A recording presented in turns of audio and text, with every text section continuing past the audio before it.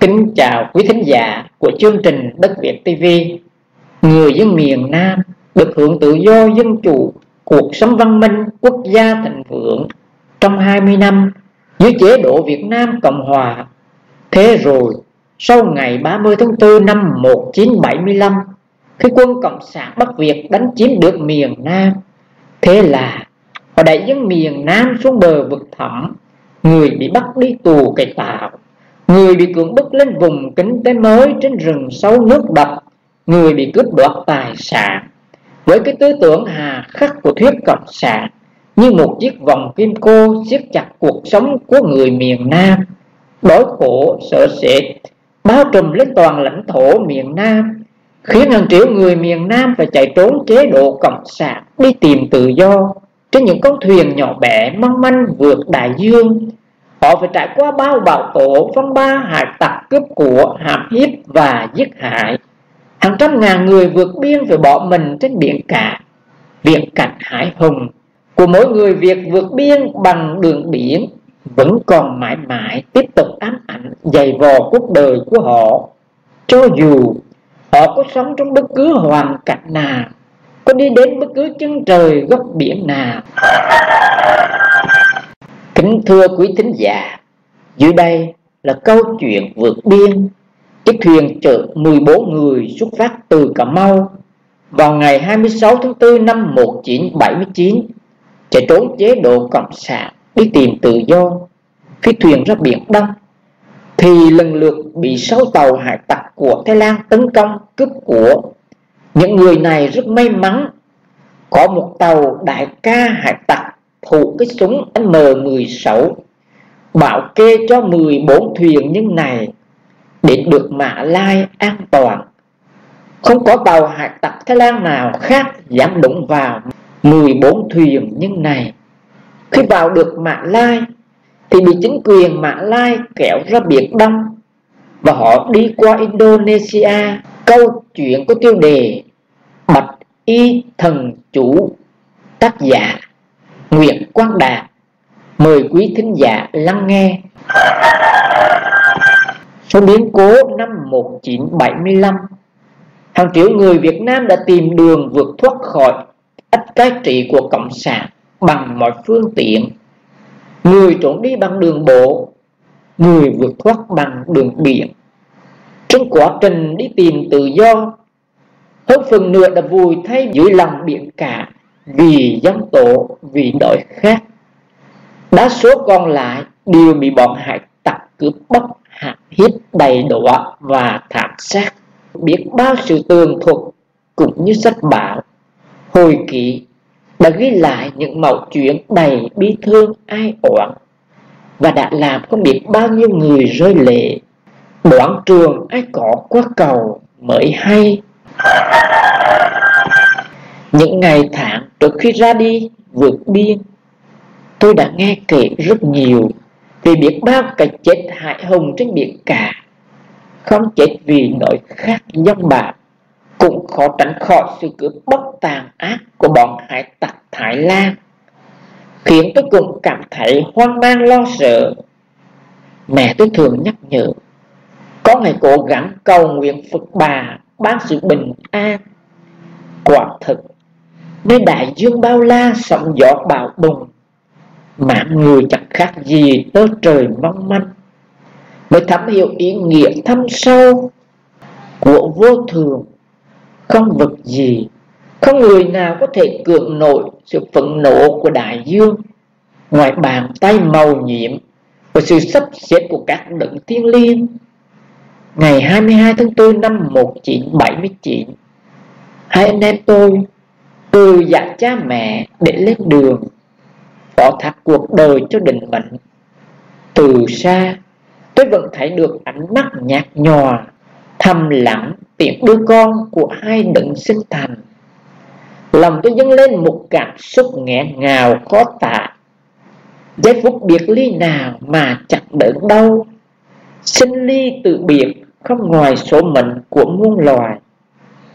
Trên đường xuống cà mau, tôi đã bị bắt giữ một đêm vì tình nghi vượt biên. Nhưng có lẽ vì thành tâm khẩn cầu, Nên chúng tôi đã được may mắn thoát khỏi. Ngày 26 tháng 4 Chúng tôi bắt đầu cuộc trốn thoát. Những ngày đầu tiên, Thật ngoài trí tưởng tượng của tôi Thuyền lượn đi êm ả, nhẹ nhàng Trên những làn sóng nhỏ lăn tăng. Tựa như mặt hồ, Bốn ngày sau Cùng tròn đầy bốn năm kể từ ngày mất nước. Không khí tự do đã thực sự đến với chúng tôi. Từ khi chủ thuyền tuyên bố đã vào hải phận quốc tế, Những nụ cười ròn rã trên khuôn mặt hân hoa Còn hằng in quá khứ của những chuỗi ngày âu lo Cùng cùng một phương trời mà sao không khí nơi đây thật tươi mát và trong lành? Tôi đã lặng yên hít thở thật chậm và dài để thưởng thức hương vị quỷ mẫu đỏ chặng đường thứ nhất đã đi qua. Đêm trôi qua, ngày lại đến. Trưa hôm đó, chúng tôi gặp được một tàu đánh cá của ngư phủ thái. Sau khi trao đổi vài lời, thì được biết đoàn người thái này hứa giúp đưa chúng tôi đến trại tị nạn mã lai với điều kiện trao đổi là chúng tôi phải trao cho họ tất cả hiện vật đang có trên tay như đồng hồ, nhẫn và một số mỹ kim. Tất cả mọi người đều vui vẻ thuận theo và mang tất cả hành lý cùng vật quý giá chuyển sang tàu thải vì phải bỏ thuyền của mình lại khi kiểm điểm tất cả mọi người. Và vật hoàn tất, chúng tôi tất cả được lĩnh ngồi yên. Nhưng nụ cười xã giao đã tắt hẳn trên bọn người này. Khi giả thủ đã hiện hình với mỏng buộc trên tay. Từng người một bị lục xét, cho đến chiếc thuyền chúng cũng không tha. Sau khi chiếm đoạt tất cả những gì chúng mong muốn chúng đã đẩy chúng tôi trở lại chiếc thuyền cũ để tiếp tục cuộc hành trình trên biển cả mênh mông. Chúng tôi đã lãnh ngộ và trả giá cho cái bài học, hậu quả của sự quả cái người. Rất may mọi người đều bình an vô sự của đi thay người. Thuyền lại tiếp tục trôi đi trong không khí trầm lặng và e nhẹ. Nhưng nghiệp ắt còn chưa hết nên chẳng bao lâu, thuyền của chúng tôi lại bị một tàu cướp thứ hai đuổi theo. Mà khám xét lại tái diện tôi luôn niệm thầm, bạch y thần chủ, mong chờ sự che chở bụng lại bị đau. Không biết vì đói hay quả lo âu, nên không che giấu được trên khuôn mặt, khiến cho tên cướp tiện đến lục soát, biết được. Nên hỏi thăm, sau khi khám xét qua loa tên cướp đó đã mang đến cho tôi một chai dầu. Sau này tôi mới biết được tên đó là chỉ huy phó của chiếc tàu cướp. Cũng như lần thứ nhất, chúng tôi lại được tha và thuyền tiếp tục trôi đi. Nhưng tai kiếp lại trùng phùng, nên chỉ trong một thời gian rất ngắn, thuyền của chúng tôi lại bị tàu cướp thứ ba, thứ tư, thứ năm đến cướp cùng một lúc 14 người chúng tôi bị hàng chục người bao vây và tra hỏi một cách dữ tợn. Thuyền bị cày gỡ khắp nơi, tai kiếp thực khó thoát. Mọi người chỉ biết niệm kinh cầu nguyện, Bỗng đau từ xa. Chiếc đầu cướp thứ hai là quay đầu hướng thẳng về phía chúng tôi. Tất cả đầy lo âu và thắc mắc. Có lẽ lời cầu nguyện của chúng tôi đã được đáp ứng. Tên chỉ huy chiếc tàu cướp thứ hai. Trong bộ hắc phục, Tay cầm súng M16 Ra dấu cho bọn cướp thả chúng tôi ra. Có lẽ vì thấy tàu cướp này quá ít người so với bọn chúng, Nên bọn cướp vẫn đứng yên quan sát. Chưa chịu buông tha, Không nói thêm một lời, Tên chỉ huy của tàu cướp thứ hai Đưa tay lắp đạn và hướng mũi súng vào bọn cướp. Không ai bảo ai. Tất cả bọn cướp đều phóng về tàu của mình. Một số tên thì phóng ngay xuống biển lỗi về tàu. Nhưng vẫn chưa chịu rời xa. Biết gặp được người cứu mạng. Toàn thể chúng tôi đều cầu xin sự giúp đỡ của chiếc tàu cướp này. Không nợ những tâm lìa khỏi chúng tôi trong những tiếng kêu cầu thảm thiết, xen lẫn những tiếng khóc nức nở, đỏ đây của một vài thiếu nữ còn đầy vẻ kinh hoàng chỉ chậm thêm vài khoảng khắc sẽ mang đời ô nhục tên chỉ huy đã ưng thuận cứu chúng tôi và cho chúng tôi lên tàu để đưa đến hải phận Mã Lai. Thuyền của chúng tôi được kéo theo sau. Tất cả chúng tôi đều thầm tạ ơn trời Phật. Đang ngồi trên khoang tàu chưa đầy 10 phút, thì bỗng đầu tên cướp lúc trước tuổi trạc 50 ra dậu bảo tôi vào phòng lại. Không biết chuyện gì xảy ra, tâm trí tôi hoang mang suy nghĩ chứng bước thật chậm để cố gắng niệm cho dứt lời bài chủ. Rồi chuyện gì tới đâu sẽ tới. Bước vào phòng, mặt ngơ ngác đừng nghe hai người đối thoại nhìn vào cử chỉ của họ, tôi biết họ đang nói về tôi. Quả thực số đó tên cướp chỉ huy quay lại hỏi tôi bằng tiếng anh, cảm thấy như thế nào rồi? Có cần tiêm thuộc không? Thật ngạc nhiên. Lúc đó tôi mới thực sự không biết cơn đau hết từ lúc nào. Có lẽ nỗi lo sợ trong tâm trí đã làm mất cảm giác đó. Tôi vội cảm ơn và cho biết đã bình thường. Và bây giờ tôi mới nhận thấy nét thiện cảm trên khuôn mặt của họ. Nên mới yên tâm. Được ngồi nghỉ trong phòng, tôi cảm thấy thoải mái hơn. Và bắt đầu nhận xét cảnh vật chung quanh. Được ít lâu, tôi được tới chỉ huy tiếp chuyện với số vốn ăn ngự ít ỏi, cùng với sự cố gắng suy đoán qua cử chỉ bằng tay chân của tên phụ tá người Thái tôi tạm được biết như sau. Chỉ huy của tàu cướp này là người Hoa. Đánh cướp không phải là hoạt động chính của họ. Cho nên, họ chỉ có thể đưa chúng tôi đến gần hải phận Mã Lai mà thôi, vì sợ gặp rắc rối. Sau khi hỏi thăm về hoàn cảnh của tôi Tôi may mắn được hai người này cho biết, Thuyền của chúng tôi là chiếc thứ hai được họ giúp đỡ. Không biết Việc thứ nhất có cùng một hoàn cảnh với chúng tôi không. Và tôi được họ cho biết lần lượt về các hành vi cướp bóc của từng chiếc tàu. Mà trên hải trình đã nhìn thấy Rất may mắn cho đoàn người chúng tôi Là không gặp phải một trong những tàu cướp vừa ngang qua. Vì bọn cướp đó rất tàn ác.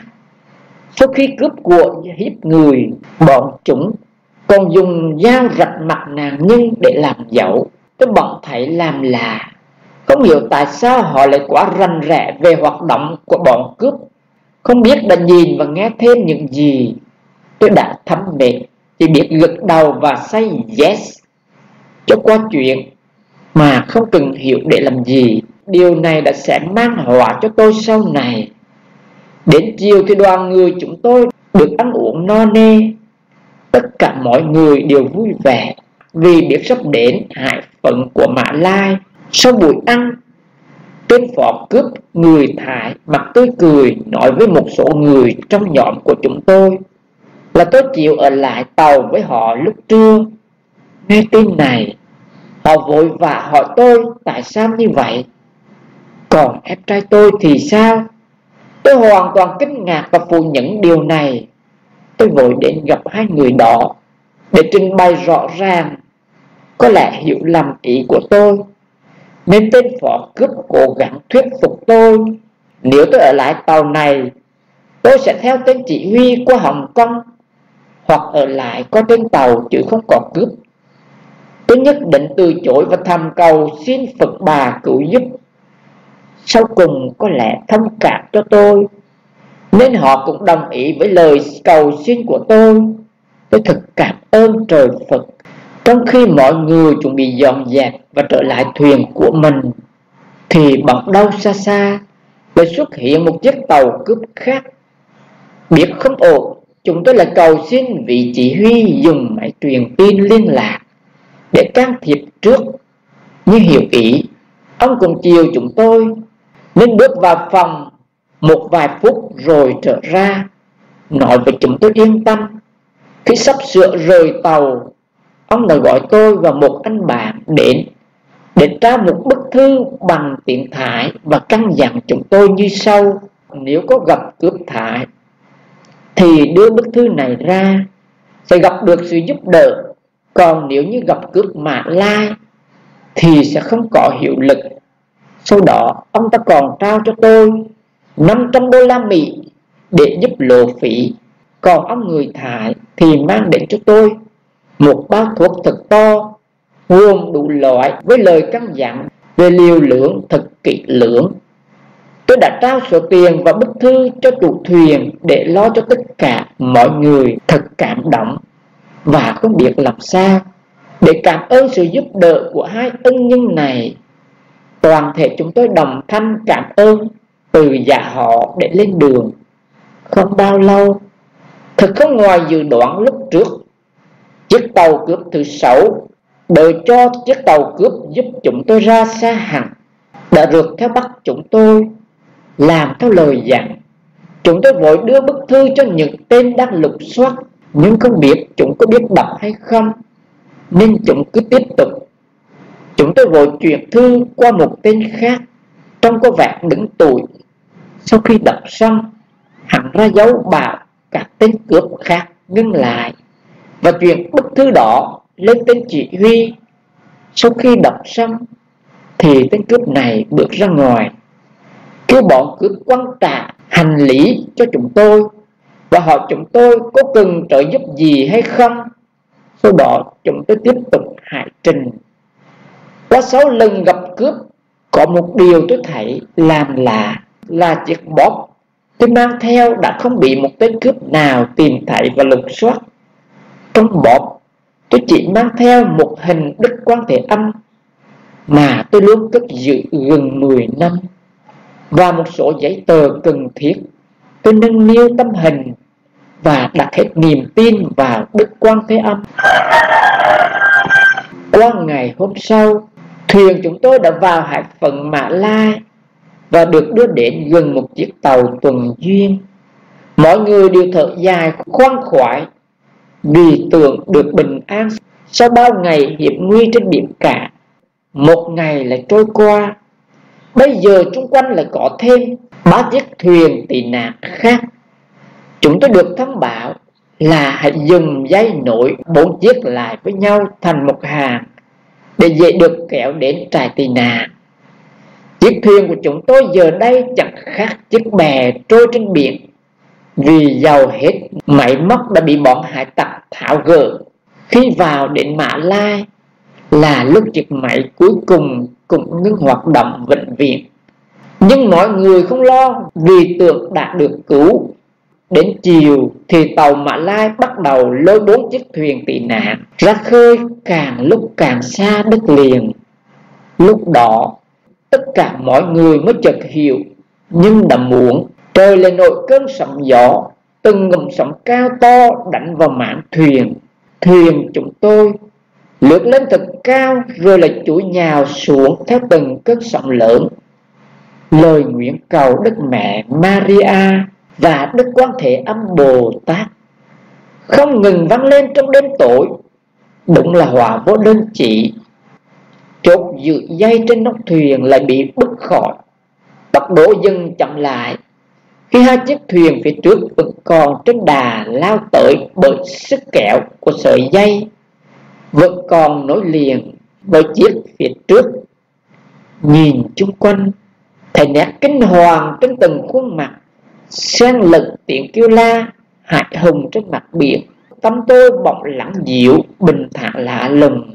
Linh tịnh tôi cho biết rằng, có lẽ mình chưa phải chết nơi đây tôi là niệm thầm kinh bạch y thần chủ. Lời nguyện cầu của chúng tôi đã thấu đến bề trên, như một phép là nhiễm màu. Những chiếc thuyền phía sau bỗng chuyển hướng lướt sát thuyền chúng tôi trong gan tất tất cả là cảm ơn trời Phật, cơn sợ hãi hùng đã qua đi. Những cơn lo âu khác lại đến bởi vì trong đêm tối, sóng gió bao phủ bốn bề thuyền lại không chạy được, thì trượt sâu cũng bị lật ngã, tận dụng tất cả sức lực còn lại của mình. Mọi người đồng thanh la hét cho tàu Mã Lai dừng lại. Sau khi xem xét, mỗi giây lại cẩn thận. Đoàn thuyền lại tiếp tục bị lôi đi. Trong đêm mưa gió bão bùng. Một vài tiếng sau, tái ách lại đến với chúng tôi. Vì không chịu nổi áp lực quá mạnh của sức sống thuyền chúng tôi lại rạn nứt. Tiếng kêu cứu vang lên, khiến cho tàu lệnh mã lai dừng lại.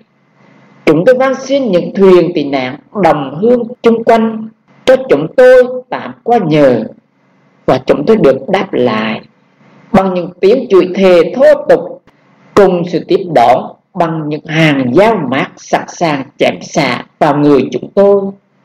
Đồng hương thực đáng nhớ rất may, một trong ba chiếc thuyền có lẽ cảm động, nên tới gần chúng tôi cố gắng thuyết phục họ. Để cho một người trong bọn chúng tôi qua, để trình bày sự việc cho bọn lệnh biết. Nghe thuận tai, nên họ tiến tới gần hơn. Không bảo ai 14 người chúng tôi đồng phận qua một lượt. Biết đã lỡ, họ cũng la hét, nhưng cũng đành chấp nhận vì họ chỉ có 15 người trên thuyền còn rất rộng chỗ. Chúng tôi đã trao tiền cho sự cứu giúp của họ. Sau khi quan sát cân sẵn, ông năm chủ thuyền mới vốn là ngư phụ cà mau tàu số 838 quyết định chặt đứt dây nổi để chạy thoát. Vì nếu để kéo tiếp tục mọi người sẽ chết. Trong lúc lộn xộn vì được thông báo, thuyền của chúng tôi có một người rớt xuống biển. Sự thật không có, bọn lính mã lai đã soi đèn tìm kiếm trên mặt biển để mặc cho thuyền chúng tôi chạy đi. Khoảng nửa giờ sau, tàu mã lai bắt đầu rượt theo và bắn từng loạt đạn hướng vào thuyền chúng tôi. Tất cả đều nằm rạp xuống. Mỗi người đều nghĩ đến cái chết trước mặt lời nguyện cầu lại vang lên trong đêm tối. Chẳng bao lâu, thuyền của chúng tôi bị bắt và bị cột dây như trước. Nhưng lần này, không thể hai chiếc còn lại nơi đâu. Người đại diện thuyền của chúng tôi bị dựng lên tàu. Sau khi dằn mặt, bọn lính cho biết, có chạy đi đâu cũng không thoát khỏi radar của chúng đến sáng hôm sau, qua một cuộc nói chuyện giữa người đại diện trong nhóm chúng tôi với một sĩ quan trên tàu, thì tình cờ họ nhận ra là bạn học cùng khóa ở bên Mỹ trước kia, nhưng chúng tôi được bọn lính cho lên tàu nghỉ ngơi một chút.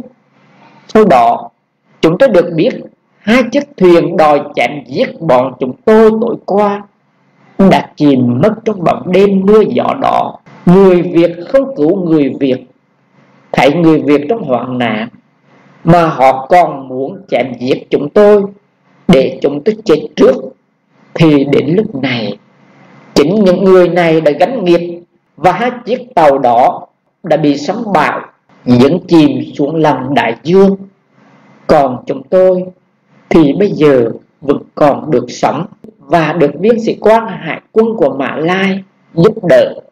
Nghe đến đây, mọi người đều cảm nhận sự may mắn.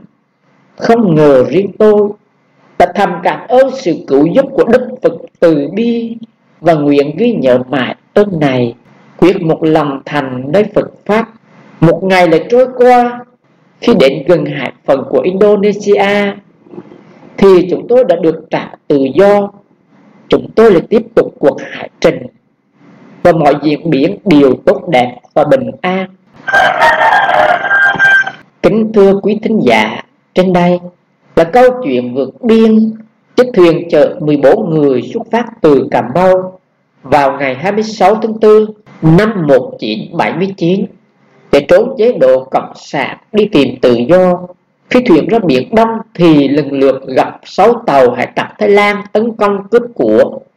Nhưng những người này rất may mắn, có một tàu đại ca hải tặc thuộc cái súng M16 bảo kê cho 14 thuyền nhân này để được mã lai. Không có một tàu hải tặc khác nào dám đụng vào 14 thuyền nhân này trên tuyến đường vượt biên khi còn trong vịnh Thái Lan. Khi vào được Mã Lai thì bị chính quyền Mã Lai kéo ra Biển Đông. và họ đi qua Indonesia. Đến đây, Đất Việt TV xin chân thành cảm ơn quý thính giả đang quan tâm theo dõi và hẹn gặp lại quý thính giả trong các chương trình tiếp theo. Xin trân trọng kính chào.